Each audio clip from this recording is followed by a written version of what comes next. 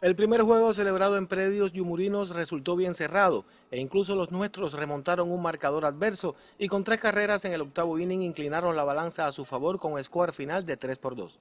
José Carlos Arrías se llevó el éxito desde el montículo, mientras Jodiel Labrada resultó un digno rival.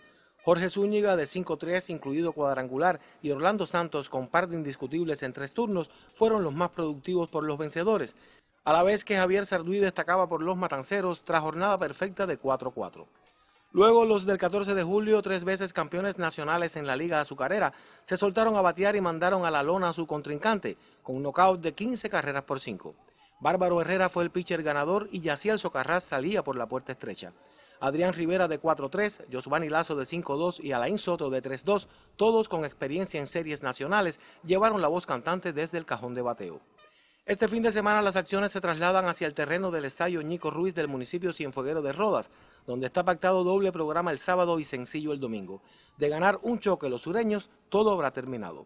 El vencedor de este pareo enfrentará después al que salga triunfador en la serie entre Melanio Hernández de Santi Espíritus y Héctor Rodríguez de Villa Clara, compromiso que marcha igualado a una victoria por bando, coincidentemente con idénticas pizarras de cuatro anotaciones por dos. Deportivas, Carlos Ernesto Chaviano, Notisur.